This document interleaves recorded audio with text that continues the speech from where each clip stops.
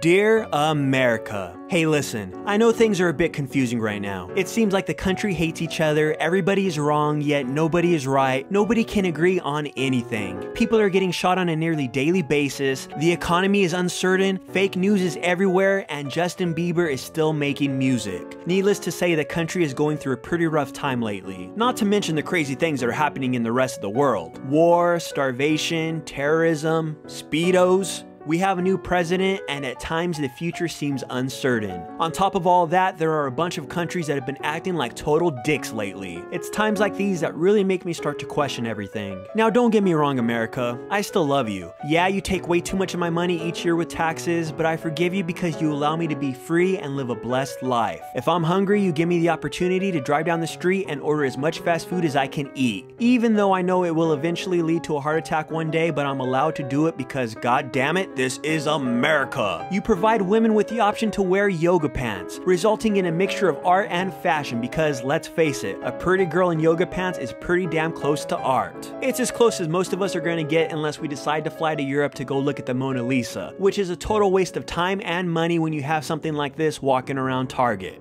You also give us the option to watch millionaires give each other brain damage every Sunday while we sit at home on our couch gorging on pizza and beer. What I'm trying to say, America, is I love you, but I don't know if we can be together. Now listen, it's not you, it's me. I guess after all we've been through, I owe you an explanation. Well, I started feeling this way when I was on the internet the other day browsing TMZ.com. I know, I know, why was I wasting my time on TMZ? Well, truth be told, I have an odd fascination with celebrity deaths ever since Michael Jackson died. I'm not sure why, but I do. And TMZ is always the place that breaks the news stories of a celebrity death first. So I find myself there pretty often. But that's besides the point. I was on the website looking to see what's going on in the world of celebrities when I stumbled upon her. You know who I'm talking about. Thou that shall not be named. Catch me outside, how about that? Catch me outside, how about that? Listen, I thought we agreed to finally get rid of her. I thought the 15 minutes were up. But here we are months later and she is still around. But this, this is the last straw. I saw a news story that stated there are plans to have a reality television show based around her, her life, and her actions. Why, America? Why are you doing this to me? Why are you doing this to us? I've always been there for you, but now you just turn around and stab me in the back? Like this? Don't you remember what happened the last time you gave somebody like this a television show? Don't you remember what happened?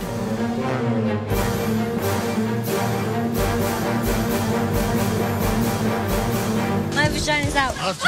The smell of tanning lotion and hairspray still lingers in the air, just starting to dissipate. Yet you go and decide to do this. Why? Why would you decide to poison another generation of children by having them exposed to this abomination? I thought the Kardashians were enough, but you decide to one up yourself with this. Now I'm sorry, she's only 13, a mere child, I know. Typically I'm not critical of people like this. There are usually some redeeming qualities that somebody has, but I'm at a loss with this one. Since we first met her, all she has done is fight and cuss and make a fool of herself in public. She started off as a joke that people mocked on the internet. People eventually gave her money and supported her, so she continued on her destructive path. Actions that should have normally been condemned were praised. And after all of this, you reward her even more with a television show? I can't handle this anymore. Here she is, 13 years old, causing fights and being a menace to society. Thousands of followers in social media, money, fame, and she gets a television show? And then we have people like Tanishq, Tanishq, whatever, Abraham, 13 years old. He graduated high school at 10 years old and has been taking college classes for years with oh a 4.0 GPA. And all he gets is some dumbass on the internet not knowing how to pronounce his name properly.